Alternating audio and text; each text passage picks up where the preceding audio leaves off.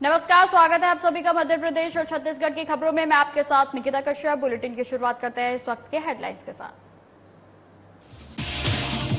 रायपुर में सीएम का युवाओं से भेंट मुलाकात का कार्यक्रम। युवाओं से रूबरू हुए सीएम बघेल। भेंट मुलाकात के तहत युवाओं में दिखा उत्साह। रायपुर में प्रदेश के बीजेपी नेताओं की हाई लेवल बैठक। प्रदेश के पूर्व गृह मंत्री को नहीं मिली एंट्री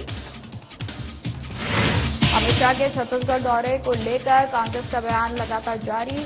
कांग्रेस ने बीजेपी पर जमकर साधा निशाना कहा, केंद्र को प्रदेश के बीजेपी नेताओं पर भरोसा। रायपुर में कांग्रेस के आरोपों पर पूर्व नेता प्रतिपक्ष का पलटवार, शराब की खपत को लेकर राज्य सरकार को घेरा। और रायपुर में पूर्व मंत्री ब्रिजमोहन के नेतृत्व में बीजेपी की जंगी प्रदर्शन। शारदा चौक पर किया गया चक्काजाम खबरों की शुरुआत करते हैं। प्रदेश में मुख्यमंत्री भूपेश बघेल का युवाओं से भेंट मुलाकात का कार्यक्रम शुरू किया गया। वहीं आपको बता दें कि जिसे लेकर युवाओं में काफ़ी उत्साह देखने को मिला। मुख्यमंत्री भूपेश बघेल ने मीडिया से बातचीत के दौरान बताया कि रायपुर संभाग के कॉलेज के युवाओं से मुलाकात हुई। इस दौरान युवाओं के विचार और सीएम ने जाने और उनके कुछ सवालों के जवाब भी उनके द्वारा दिए गए। वहीं युवाओं से कुछ मांग, युवाओं की कुछ मांगी थी, जिसकी घोषणा सीएम भूपेश बघेल ने की। सीएम ने बताया कि युवाओं के साथ भेंट मुलाकात का बहुत ही अच्छा अनुभव रहा। उन्होंने बताया कि युवाओं के कुछ सपने हैं, उम्मीदें हैं। वो हमारे छत्तीसगढ़ के भविष्य हैं। उनके सपनों को हम लोग वातावरण दे, जिससे बच्चे आगे बढ़ सके। वहीं गृह मंत्री अमित शाह के दौरे को लेकर भी मुख्यमंत्री बघेल ने मीडिया से चर्चा की। उन्होंने कहा कि चुनाव का समय है, रात को आते हैं, सुबह चले जाते हैं। देखिए क्या होता है। रायपुर संभाग के युवा साथियों से जो कॉलेज में हैं, उनसे उनके विचार भी हम लोग सुने, सवाल भी लिया गया उसका जवाब भी दिया गया। कुछ मांगे थी, उसकी घोषणा भी की गई और बहुत अच्छा अनुभव रहा युवा लोगों के साथ भेंट मुलाकात कार्यक्रम। तो सपने हैं और उम्मीदें हैं, उसको लेके हमारे नौजवान ये हमारे नौजवान हैं। वो हमारे छत्तीसगढ़ के भविष्य हैं और इनके सपनों को हम लोगों को वो, वो वातावरण हम लोग दें ताकि वो बच्चे आगे बढ़ सकें सर बीस विधानसभा के लगभग युवा आए थे युवा कहीं ना कहीं महत्वपूर्ण भूमिका निभाते चुनाव में और जिस तरह से जोश देखा गया कि माना है कि अगले विधान बीस विधानसभा बिल्कुल चुनाव में पुलिस सीट की उम्मीद से हम लोग आगे बढ़ रहे हैं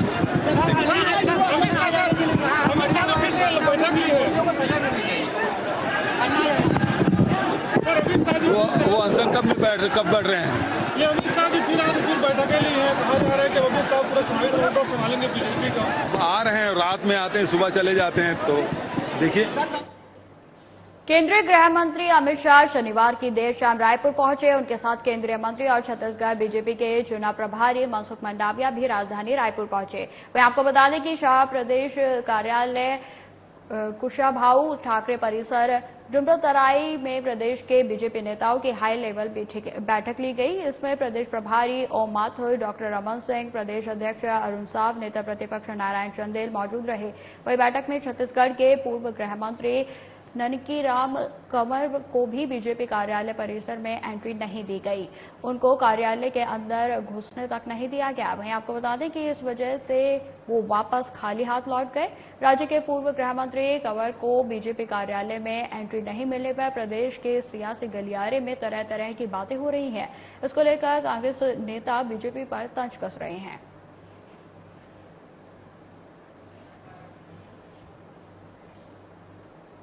गृह मंत्री अमित शाह के छत्तीसगढ़ दौरे को लेकर कांग्रेस ने बीजेपी पर जमकर निशाना साधा। छत्तीसगढ़ कांग्रेस संचार विभाग के प्रमुख सुशील आनंद शुक्ला ने बीजेपी पर निशाना साधते हुए कहा कि बीजेपी का केंद्रीय नेतृत्व छत्तीसगढ़ के बीजेपी नेताओं को नाकाबिल समझ रहा है। वहीं आपको बता दें कि यही कारण है कि हर हफ़्ते बैठक लेने के लिए अमित शाह को आना पड़ रहा है। इतना ही नहीं, जिस राज्य में चुनाव होता है, उसी राज्य के नेताओं को चुनाव की बागडोर दी जाती है। लेकिन बीजेपी के केंद्रीय नेतृत्व को छत्तीसगढ़ के बीजेपी नेताओं पर भरोसा नहीं है। इसलिए चुनाव की बागडोर भी दूसरे राज्य के लोगों के हाथों में दे रखा है।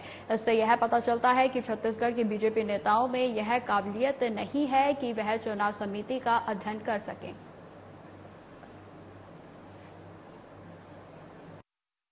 भारतीय जनता पार्टी के प्रदेश कार्यालय के गेट से, जहाँ पे कि भारतीय जनता पार्टी के वरिष्ठ नेता श्री अमित शाह बैठक ले रहे थे, वहाँ से वरिष्ठ भाजपा नेता ननकी राम कंवर को भगाया जाना बेहद ही आपत्तिजनक है। ननकी राम कंवर इस प्रदेश के वरिष्ठतम नेताओं में से एक है।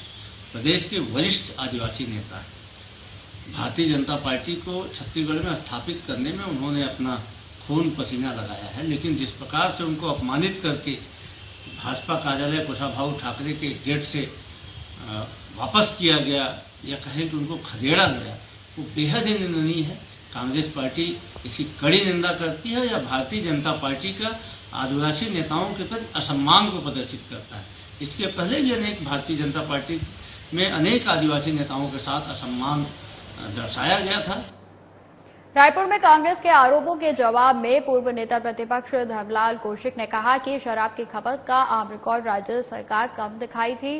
जब ईडी का छापा पड़ा तो शराब की खपत एकाएक बढ़ गई। वहीं आपको बता दें कि क्या ईडी के छापे के बाद पीने वालों की संख्या बढ़ गई है। वहीं उन्होंने राज्य सरकार के द्वारा खोले गए स्कूलों की जाँच को लेकर भी कांग्रेस सरकार को आड़े हाथों लिया। उन्होंने कहा कि लोगों की ज़िम्मेदारी बनती है कि वह सरकार की सुविधा बच्चों को मिल रही है कि नहीं, इसकी जाँच करे।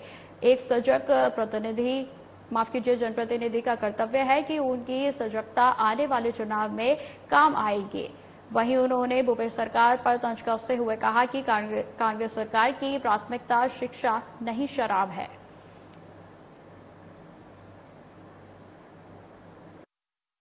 एक सजग जनप्रतिनिधि होने के नाते, चाहे वो आज विधायक हो या ना हो, लेकिन उनका दायित्व तो है कि बहुत लंबे वर्षों तक वो विधायक के रूप में, मंत्री के रूप में काम किए हैं। और उसके बाद में जनता ने उनको वोट दिया है, वो अपनी जवाबदेही समझ करके जिस प्रकार से स्कूल में जाकर के सब दौरा कर रहे हैं, वहाँ पर जाँच पड़ताल कर रहे हैं कि बच्चों को कोई तकलीफ़ तो नहीं हो रही है, समय पर साइकिल मिल रहे कि नहीं मिल रहे पुस्तकें मिल रही कि नहीं मिल रही बैठने की व्यवस्था है कि नहीं है, फर्नीचर है कि नहीं तो एक सजग जनप्रतिनिधि का ये समझ लो पहचान है।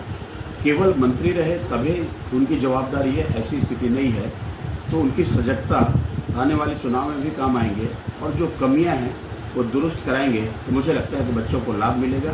क्योंकि वैसे ही शिक्षा के क्षेत्र में कांग्रेस की सरकार जब से आई है तो रैंकिंग में आप देखे होंगे कि राष्ट्रीय स्तर पर सबसे खराब प्रदर्शन छत्तीसगढ़ का है। रायपुर में पूर्व मुख्यमंत्री डॉक्टर रमन सिंह ने आईएएस रारू साहू की गिरफ्तारी को लेकर बयान दिया है। उन्होंने कहा कि इस मामले में पूछताछ होगी, जाँच चल रही है। यह बहुत बड़ा मकरजाल है। इसमें बहुत से लोगों का हाथ है। जो भी दोषी होगा, उस पर कार्रवाई होगी। वहीं मीडिया से बातचीत करते हुए मुख्यमंत्री भूपेश बघेल के ईडी और आईटी वाले बयान पर भी उन्होंने जवाब दिया। उन्होंने कहा कि डायरेक्टर अकेला कुछ नहीं कर सकता। खनिज विभाग मुख्यमंत्री का है। अगर डायरेक्टर किसी अपराध में अभियुक्त बना है, दोषी पाया गया है तो अंतिम रूप से मुख्यमंत्री की ही सहमति होगी। बिना मुख्यमंत्री की सहमति के डायरेक्टर इस प्रकार ऑनलाइन, ऑफलाइन करने का षडयंत्र कैसे कर सकता है? इसका जवाब सरकार नहीं दिया।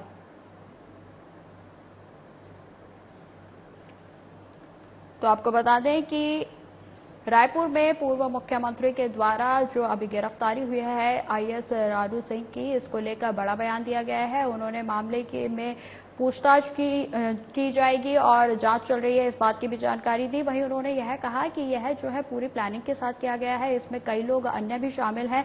यह किसी अकेले का काम नहीं है। वहीं आपको बता दें कि इसमें उनके द्वारा लगातार यही कहा जा रहा है कि अभी भी कार्रवाई चल रही है और आगे भी और लोगों के नाम जो है आने की आशंका जताई जा रही है। वहीं उनके द्वारा मीडिया से बातचीत करते हुए ईडीआईडी वाले आईटी वाले बयान पर भी उन्होंने जवाब दिया। उन्होंने कहा कि डायरेक्टर अकेला कुछ नहीं कर सकता।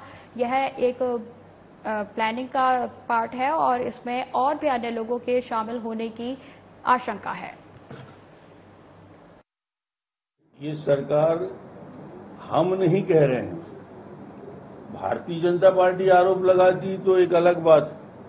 अब तो परत दर परत पूरे जनता के सामने आने लगा है, न्यायालय में जाने लगा है। इन्फोर्समेंट डायरेक्टरेट ईडी ने तो तक तेरह हज़ार पेज का साक्ष्य न्यायालय में प्रस्तुत किया है। किसी मुख्यमंत्री के लिए इससे बड़े साक्ष्य और क्या चाहिए? कि जाँच एजेंसी राष्ट्रीय स्तर की एक एक बात पे भ्रष्टाचार के आरोप लगाते तथ्यों को न्यायालय के सामने रखी है। ऊपर और नीचे कुछ नहीं है। तो डायरेक्टर माइंस सात महीने से जेल के अंदर क्यों है? जो पॉलिसी बनाने वाले हैं, डायरेक्टर माइंस जब पॉलिसी बनाएगा तो पॉलिसी बनाने में डायरेक्टर अकेला कुछ नहीं कर सकता सेक्रेटरी और मुख्यमंत्री। वो विभाग का भार सब मंत्री, खनिज विभाग मुख्यमंत्री जी का है। यदि वो डायरेक्टर यदि किसी मामले में अभियुक्त बना है, दोषी पाया है तो अंतिम रूप से तो मुख्यमंत्री की सहमति होगी। रायपुर में बीजेपी कार्यकर्ताओं ने पूर्व मंत्री ब्रजमोहन अग्रवाल के नेतृत्व में शारदा चौक पर जंगी प्रदर्शन कर चक्का जाम किया। वहीं आपको बता दें कि बीजेपी के सैकड़ों कार्यकर्ताओं ने शारदा चौक जयसम चौक और फिर सत्यापारा चौक पर पैदल मार्च कर प्रदर्शन किया। इस दौरान बीजेपी विधायक और पूर्व मंत्री ब्रजमोहन अग्रवाल ने जंगी सभा को संबोधित करते हुए कहा कि नगर निगम भ्रष्टाचार का अड्डा बन गया है।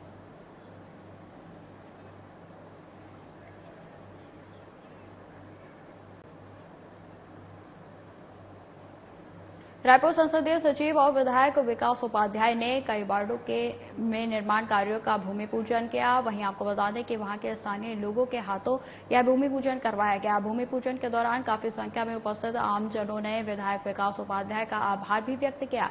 इस दौरान लोगों के चेहरों पर खुशी भी देखने को मिली। वहीं आपको बता दें कि विधायक विकास उपाध्याय ने इसके बाद साहूपारा, डंगनिया में साहू समाज के लिए भवन निर्माण का भूमि पूजन सामाजिक जनों के द्वारा करवाए।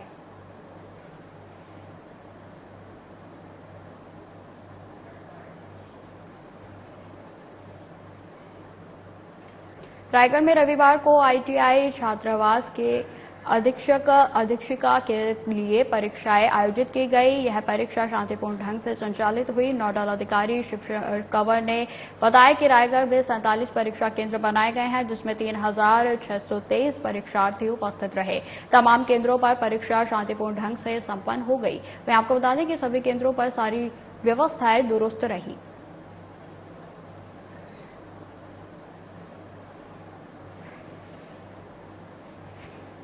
तो आपको बता दें कि रायपुर में संसदीय सचिव और विधायक विकास उपाध्याय ने कई रायपुर में रविवार को आईटीआई छात्रावास और अधीक्षक अधीक्षिका के परीक्षाएँ आयोजित की गई, जिसमें आपको बता दें कि यह परीक्षाएँ जो है शांतिपूर्ण ढंग से संचालित हुई। वहीं आपको बता दें कि नोडल अधिकारी शिवशंकर ने बताया कि रायगढ़ में सैंतालीस परीक्षा केंद्र बनाए गए हैं, जिसमें परीक्षाएँ हुई हैं और जिनका समापन जो है शांतिपूर्ण ढंग से हो चुका है। वहीं आपको बता दें कि तीन हज़ार छह सौ तेईस परीक्षार्थी परीक्षाओं में उपस्थित रहे, जिन्होंने जिन्होंने सफलतापूर्वक जो है परीक्षा में भाग लिया और परीक्षा को सफल बनाया।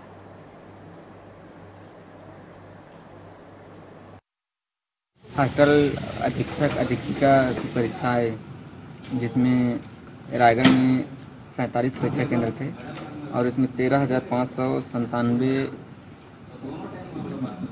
विद्यार्थियों द्वारा फॉर्म भरा गया था और दो, तीन हज़ार छः सौ तेईस आज उपस्थित रहे और नौ हज़ार नौ सौ चौहत्तर अनुपस्थित। किस प्रकार की नकल वगैरह की कोई नहीं, नहीं। आज किसी प्रकार की नकल की कोई जानकारी या तो नहीं मिला नहीं। घटना शांतिपूर्ण रही हाँ शांतिपूर्ण रहा और सभी मन व्यवस्था ठीक थी कबीरधाम ज़िले में सिटी कोतवाली थाना अंतर्गत मंदिर में से मंदिर से ताला तोड़कर चोरी करने वाले आरोपी को पुलिस ने गिरफ़्तार कर लिया है। वहीं आपको बता दें कि बालेश्वर महादेव मंदिर में ताले को तोड़कर मंदिर के अंदर रखे दान पेटी और नकद को अज्ञात चोरों ने चोरी कर लिया है। जिस पर टीम गठित कर पुलिस ने अज्ञात आरोपी को गिरफ़्तार करने में सफलता हासिल की है। वहीं आपको बता दें कि पूछताछ करने पर चोरों ने चोरी करना स्वीकार भी कर लिया है।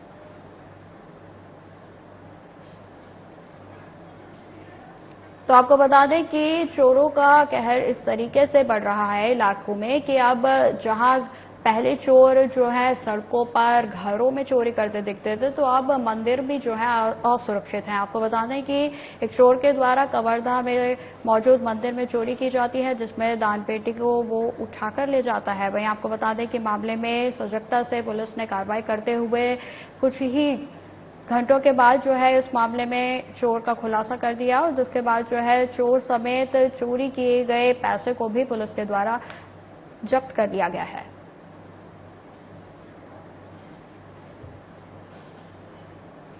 कबीरधाम थाना अंतर्गत घुगरी में मोटर पंप चोर को पकड़ने में पुलिस ने सफलता हासिल की है। आपको बता दें कि मामला ग्राम घुगरी का है, जहाँ पार्थी ने रिपोर्ट दर्ज कराया कि गुरु नाला के पास खेत में लगे पंप को कोई अज्ञात चोरों ने चोरी कर लिया है। वहीं आपको बता दें कि पुलिस ने इस पर कार्रवाई करते हुए चोर को गिरफ़्तार करने में सफलता हासिल की है।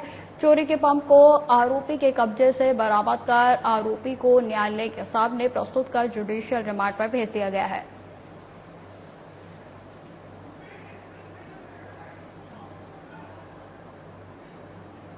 पवित्र सावन महीने का कल तीसरा सोमवार है। आपको बता दें कि बीते इस पूरे महीने में छत्तीसगढ़ के कबीरधाम ज़िले से लेकर मध्य प्रदेश की अमरकंटक तक बोलबम और हर हर महादेव का गुंजमान होने लगा है। ऐसा ही नज़ारा पड़ोसी ज़िले बेमत्रा, मुंगेली और राजनांदगांव के सरहदी क्षेत्रों से भी आने वाले पदयात्रियों और कावड़ियों में उत्साह और उमंग देखने को मिल रहा है। पड़ोसी जिलों की तुलना में अमरकंटक से माँ नर्मदा की जल लाने वाले कावड़ियों की संख्या में काफ़ी इजाफा हुआ है। वहीं आपको बता दें कि कावड़ियों की बढ़ती संख्या को देखते हुए कबीरधाम जिला प्रशासन द्वारा कावड़ियों की मूलभूत सुविधाओं जैसे उनके ठहरने की व्यवस्था, उनके प्राथमिक व्यवस्था की स्वास्थ्य की व्यवस्था सहित अन्य मूलभूत सुविधाओं में भी विस्तार किया जा रहा है।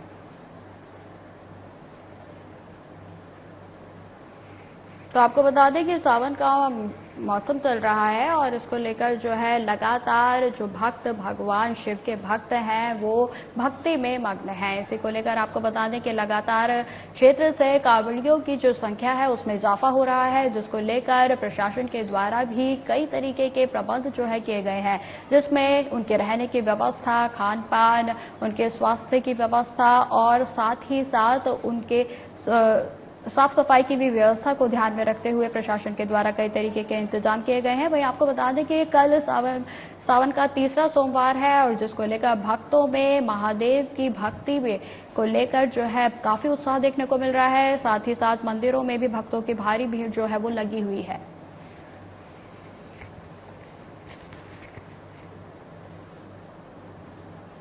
मणिपुर में महिलाओं के साथ हुई अमानवीय घटना को लेकर संसद से लेकर सड़क तक हंगामा हो रहा है। वहीं इस मुद्दे को लेकर धमतरी में कांग्रेसियों ने घड़ी चौक पर पीएम मोदी और मणिपुर के सीएम का पुतला दहन किया और घटना के विरोध में जमकर नारेबाजी की। साथ ही कांग्रेसियों ने मणिपुर के सीएम को बर्खास्त कर उनकी गिरफ्तारी की भी मांग की है। वहीं आपको बता दें कि कांग्रेसियों का कहना है कि मणिपुर जल रहा है, लेकिन देश के प्रधानमंत्री को इसकी कोई चिंता नहीं है और देश के पीएम विदेश में फ़ोटो खिंचवाने में मस्त है। वहीं कांग्रेसियों का कहना है कि मणिपुर में हो रही घटना के लिए बीजेपी जिम्मेदार है। प्रदर्शन के बारे में आप सब पूरी दुनिया जान रही है। इतनी शर्मसार घटना घटी है। पिछले ढाई महीने से मणिपुर चल रहा है। कोई उसका सुध लेने वाला नहीं है। केंद्र में बैठी सरकार जब तीन महीने से दंगे भड़क चुके हैं। वहाँ पर दो समुदायों के बीच में इन लोगों ने आग लगाई है, क्योंकि जो मैथिली समुदाय है, उसके 40 सीट के बचाने के लिए उन्होंने कुकी समुदाय को पीछे करके ये हिंसा भड़काई है और ये हिंसा का कारण सिर्फ़ वहाँ पर जो ऐलान हुआ है कि एससी एसटी का रिजर्वेशन मैत्री को भी मिलेगी और उस बात को लेकर ये दंगे शुरू हुए हैं। जब वहाँ पर ऐसी बात थी तो वहाँ पर तुरंत किसी चीफ जस्टिस को नियुक्त करना था। वहाँ पर महिलाओं का, महिलाओं को इस तरीके से नग्न करके उनके साथ अत्याचार करना, ये पूरे देश के लिए, हमारी हिंदू सभ्यता के लिए, हमारे शास्त्रों के विरुद्ध है ये। मणिपुर की जो विभत्स घटना है, उसके खिलाफ आज महिला कांग्रेस एवं युवक कांग्रेस का जिला दहन कार्यक्रम था, उसमें मैं उपस्थित हुआ। आप लोग भी पत्रकार साथी चौथे स्तंभ है। देश में इससे गंदी विभत्स घटना नहीं होती। महिलाओं के साथ जो अत्याचार मणिपुर में हुआ है, मणिपुर जल रहा है, एक बात और ख्याल करना चाहिए। आप लोग ध्यान दें कि राहुल गांधी जी जिस दिन मणिपुर का दौरा करके आए थे तो उन्होंने कहा था मेरे मुखिया से कि आपको मणिपुर जल रहा है, आप उस पर ध्यान दें। ये अपना फ्रांस में फ़ोटो खिंचाने से इनको टाइम तो मिलता नहीं। देश के प्रधानमंत्री सिवाय फ़ोटो खिंचाने से बाज नहीं आ रहे और इतना बेशर्मी भरा जवाब पचहत्तर दिन बाद संसद के बाहर से देना, इसका मैं घोर निंदा करता हूँ। अब खबर सीहोर से है, जहाँ विधायक सुदेश राय द्वारा नए विधायक कार्यालय का शुभारंभ भव्य सुंदरकांड पाठ के साथ जनता का कार्यालय जनता को समर्पित किया गया है। वहीं आपको बता दें इस दौरान विधायक ने कहा कि जनता का कार्यालय उन्हीं को समर्पित है। वहीं सनातनी पद्धति से पूरे विधि विधान के साथ कार्यालय में पूजा पूजा की गई। वहीं आपको बता दें कि साथ ही भव्य सुंदरकांड का पाठ कर हनुमान जी का आवाहन किया गया इस दौरान मौके पर भारी संख्या में भक्तगण, समाजसेवी अखिलेश राय, रिंकू जायसवाल, विधायक सुदेश राय सहित गणमान्य नागरिक मौजूद रहे।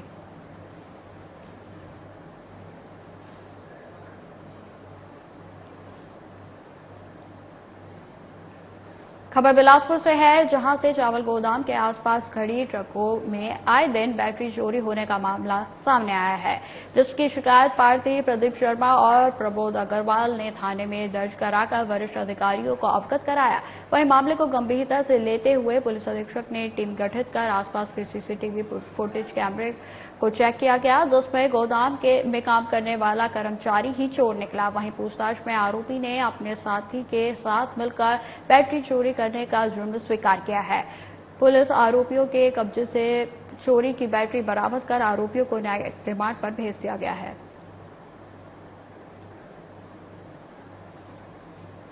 तो आपको बता दें कि इलाके से जो है लगातार चोरी की घटनाएँ आ रही हैं और जिसमें ये बेहद ही एक गोपनीय बात बनी हुई थी कि आखिर बैटरी चोरी कर कौन रहा है? जिसके बाद पुलिस ने इस मामले को सजगता से लिया, जिसमें पुलिस के द्वारा जो है वहाँ के आसपास लगी हुई सीसीटीवी फुटेज को खगाला गया और जिसमें फैक्ट्री में ही काम करने वाला जो कर्मचारी है, वो चोर निकला और साथ ही उसके साथ अन्य साथी भी जो है मिलकर चोरी किया करते थे। वहीं आपको बता दें कि चोर ने चोरी करना भी स्वीकार कर लिया है और इसके बाद पुलिस ने जो है चोर समेत सभी बैटरियों को भी बरामद कर लिया है।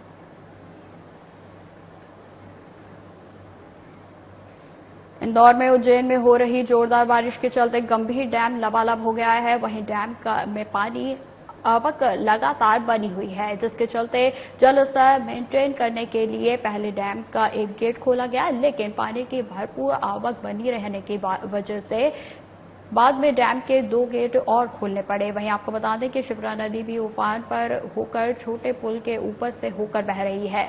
शिप्रा का जलस्तर बढ़ जाने से रामघाट पर बने मंदिर जलमग्न हो गए हैं। इधर गंभीर डैम में पर्याप्त पानी जमा हो जाने के बाद सोमवार से शहर में नियमित जल प्रदाय किया जाएगा। वहीं आपको बता दें कि इसको लेकर गंभीर डैम प्रभारी राजीव शुक्ला ने बताया कि इंदौर में यशवंत सागर डैम का एक गेट खुलने की वजह से इसका पानी गंभीर बाँध में आ रहा है, जिसकी वजह से बाँध का जल स्तर लगातार बढ़ रहा है। पिछले दो तीन दिन से गंभीर डैम के कैचमेंट एरिया में ज़बरदस्त बारिश हो रही थी और इसके अलावा इंदौर के यशवंत सागर के भी कैचमेंट एरिया में बारिश चल रही थी। इसके कारण यशवंत सागर अपना 19 फीट का पूरा लेवल पार कर लिया था। तो उनके एक गेट को कल प्रातः 11 बजे के करीब, ग्यारह बज के बीस मिनट पर खोला गया था। उससे जो पानी आया और इसके अलावा यशवंत सागर के डाउन स्ट्रीम से लगाकर उज्जैन गंभीर डैम के अप स्ट्रीम के बीच में भी जो जोरदार बारिश हुई थी पिछले दो दिनों से, वो पानी भी उसकी जोरदार आवक के चलते हुए गंभीर डैम पर शाम के समय लेवल अपना साढ़े अट्ठारह सौ एमसीएफटी पहुँच गया और आवक निरंतर जारी थी। इसको देखते हुए रात के दस बज के पैंतालीस मिनट पर गंभीर डैम का एक गेट ओपन किया गया। आधा मीटर खोला गया गेट नंबर तीन को। और इसके बाद भी जब लगातार काफ़ी ज़्यादा आवक हुई और जल स्तर बढ़ने लगा तो गेट नंबर चार और छः को भी क्रमशः खोला गया और इस प्रकार अभी की स्थिति में टोटल तीन मीटर के गेटों की ओपनिंग चल रही है। छत्तीसगढ़ राज्य हज कमेटी के चेयरमैन मोहम्मद असलम खान ने बताया कि राज्य से हज यात्रा पर गए यात्रियों का पहला काफिला फाइनांस की फ़्लाइट से नागपुर इंटरनेशनल एयरपोर्ट पहुँचा। हज यात्रा पूरी कर लौटे 326 यात्रियों के काफिले में एक पुरुष और एक महिलाएँ यात्री शामिल हैं। वहीं आपको बता दें कि जिसमें जिला बस्तर के पाँच, बिलासपुर के बावन, दुर्ग के निन्यानवे कोरिया के एक, रायपुर के 146 बलौदा बाज़ार के छह, बेमित्रा के पाँच, बालोद के आठ बलरामपुर ज़िले के चार हज यात्रियों की वापसी हुई। उन्होंने बताया कि हज यात्रियों की वापसी पर एयरपोर्ट में लगेज उपरांत प्रत्येक हज यात्री को पाँच लीटर पानी उपलब्ध कराया गया और साथ ही एयरपोर्ट में हज यात्रियों का राज्य हज कमेटी द्वारा भव्य स्वागत किया गया। वहीं सभी हज यात्रियों ने राज्य हज कमेटी की बेहतर व्यवस्था के लिए उनका आभार व्यक्त किया।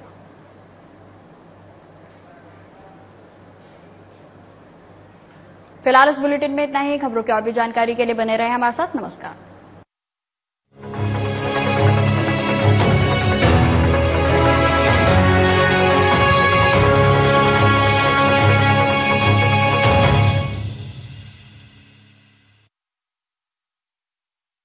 कौन नहीं चाहता कि उसकी खूबसूरत पर्सनैलिटी हो? वो भी फिल्मी एक्टर्स की तरह मॉडल्स की तरह दिखें। लोग उसे घूम घूम कर मुड़ मुड़ कर देखें। सबका दिल करता है। इसीलिए लोग जिम जा रहे हैं, कसरत कर रहे हैं। काजू बादाम किशमिश मेवे खा रहे